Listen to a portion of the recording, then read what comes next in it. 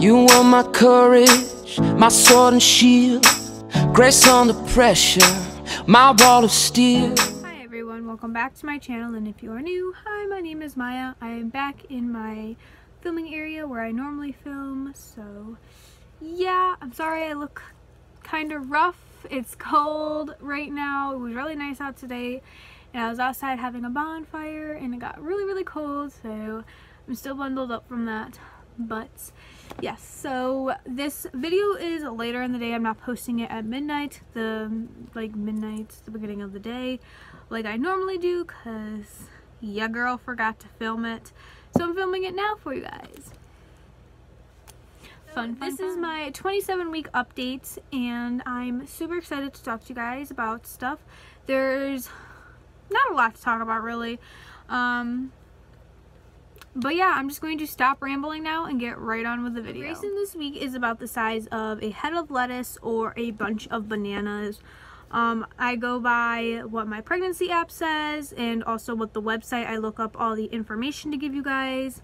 So um, I put both of them just so you guys have both. Uh, he weighs about 1.9 pounds, so really close to 2 pounds.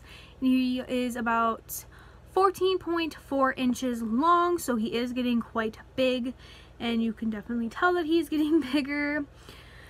Um, so with Greyson this week, he the um only few things that I found on the website is that he is breathing more amniotic fluid and practicing his breathing for the outside world more and more. And he is having brain activity now, so his brain is working like it should, and it's just working doing some good stuff and he is getting smarter and learning some things like which way is up and which way is down and um, night and day and stuff like that. So my little boy is getting very very smart and that is really exciting that he is getting smarter because I just want my kid to be as smart as he possibly can be, I guess. So the symptoms that I could be having this week are leg cramps. I haven't had that like bad of leg cramps. Um, I've had more like hip cramps uh, where one side of my one of my hips will start hurting more than the other. It's usually if I'm laying a certain way. I've found that it hurts my hip more to lay like that and I just have to like roll over and lay on the other side and the pain will stop. So it's not too, too bad. My right hip has been worse than my left side of my hip though, which is really weird, but um, it's all part of pregnancy. Excuse me. The next symptom is backaches, and I have been noticing backaches way more if I am sitting like how I'm sitting now for too long um, my back does start to hurt and it gets really sore and if I'm like lifting something that's heavier that's somewhat heavy my back does hurt afterwards especially if I'm like carrying multiple things that are that heavy.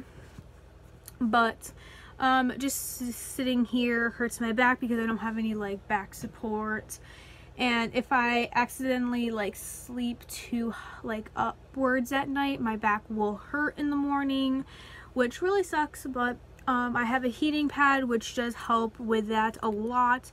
It really relieves all of the um, tension in my back which is good so I'm not going to be in like really really bad pain. So that is good.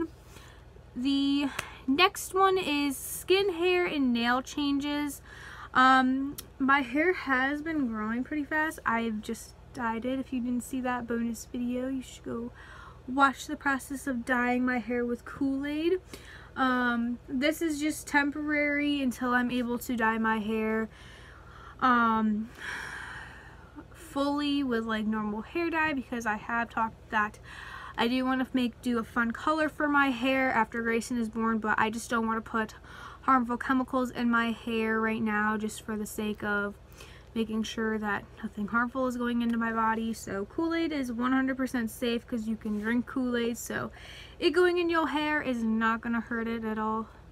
Um, skin changes, I haven't really seen. My skin has been pretty clear, which I do try to do like skincare stuff to make sure that my skin stays clear because if I just miss one day of skincare, I regret it. And nail changes, I have definitely noticed that my nails are growing faster and I'm pretty sure that is because of the vitamins. I think that's why they say skin, hair, and nail changes because of the prenatal vitamins that you take. That does help with everything like that kind of stuff. So, yeah. And the last symptom is snissing, sneezing, or snissing. I don't know how to say it. Um, but it's basically peeing a little when you sneeze. Now, I have noticed that, but I have not peed myself yet. When sneezing, I normally, if I feel like I have to sneeze, I will sit up and position myself to sneeze because I really don't want to pee myself. Especially in my bed, I don't want to pee myself. So, yeah, um, there have been times where I've come really close to peeing myself when sneezing, but it has not happened yet crossing my fingers it doesn't happen but I'm pretty sure at one point it's gonna happen to me so not looking like lo not looking forward to that. Some things to talk to you guys about this week is I am finally I don't know if I've mentioned this in previous update videos but I am on acid reflux medicine now. If you have watched my previous updates you know that my acid reflux was getting really really badly and it was super duper painful but I am on medicine now. I have to take it once a week not once a week once every day and I have they came in pills and I can't swallow pills so I mix it into applesauce. I just open the capsule pour what's inside the capsule into the applesauce and eat it like that and it has definitely made an improvement. I am so much better. I don't feel so disgusting every day because I'm not in pain from acid reflux um, excuse me. Um I, it, I've just been so much better since I've had the medicine. It's such a lifesaver and I'm so glad that it actually helped because there are some pregnancy pregnant women who do try taking the medicine and it doesn't help. It just nothing helps them. So yeah. The next thing I have had this week is lightning crotch and if you don't know what lightning crotch is it is basically a sharpshooting pain that lasts very few minutes in your cervix area and it normally is caused by just like the position of the baby. It just is a pain that shoots right through your cervix and it doesn't last very long but it is extremely painful. I've had this quite a bit this week and it does it's not too painful where I'm like on my knees like about to cry or anything but it is like oh that kind of hurt so it is definitely uncomfortable. It actually happened in a store and I like stopped walking and I was like, okay, whoa, that kind of hurts. But it's not too bad where I cannot bear it. So that's good. Um, some other things to talk to you guys about is he's been moving around a lot more lately and his movements are getting way stronger than what they were. Um, before I'd feel him kick here and there and they were kind of like slight movements but now it is like full on kicks where you can feel them. Some of them feel way harder than others. Some of them like surprise me and stuff. Just earlier me and Alan were laying in bed and normally with my shirt on you can't really see him kicking or anything but you could literally see through my shirt the movements that he was making and it was really cool. But the little little bugger that he is every time that Alan looked he just stopped moving and it was so funny because he's so stubborn because he's like playing a game with his dad like nope not gonna see me move dad. So that's fun. Um, the next thing is trouble sleeping. Now I haven't had too much trouble sleeping.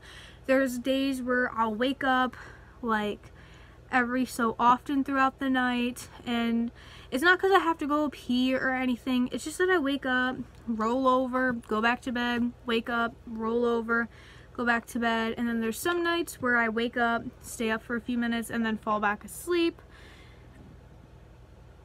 Um, and then there, lately I have not been going to bed at 2.30 like I normally do.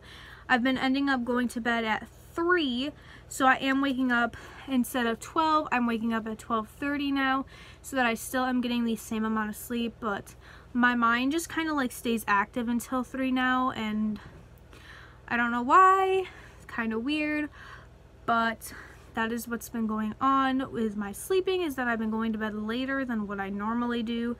And I think it's because I stayed up that one night, so now my body's like kind of like transitioning over to that and I'm like no, you gotta go to bed at this time so that you can stay on your schedule. But it's not too big of a change. Like, I'm not gonna wake up at 2 in the afternoon just because of it. It's just like a half an hour difference. So I'm not too worried about it. So. so now yeah. I'm gonna talk about my cravings. So some of the cravings that I've had this week are um I've been really big in caffeine like soda drinks so like Dr. Pepper, Cherry Coke, any kind of soda I've really really wanted it and it's not good for me to drink so much caffeine but I normally limit myself to just having like one soda a day if I'm able to get one so I'm not just like sitting here drinking a billion sodas it's not like that um, I have been drinking milk a lot more lately which I'm that is good that I'm drinking more milk but I'm not used to drinking so much milk. I'm not a too big of a fan of milk. I actually don't really like milk, but this week I've been kind of a big fan of it. Oh my god, toast has been something really big this week. Lately, I have been eating cinnamon swirl toast where there's cinnamon swirled into it, and I've also been eating white bread toast. So, toast has been a really big thing, and then other cravings I've had are donuts. I've been in love with donuts, and also ice cream because our ice cream shop just opened up for the summer so I've been really big into eating ice cream as well which is awesome that I have a new craving so yeah I'm going to go ahead and do the belly shot for you guys. So, this is my belly with my shirt on. My shirt is lifting up at the bottom. That's been like that. And this is my belly without my shirt. I still have no stretch marks, which is good. He's getting really big. Definitely tell you that.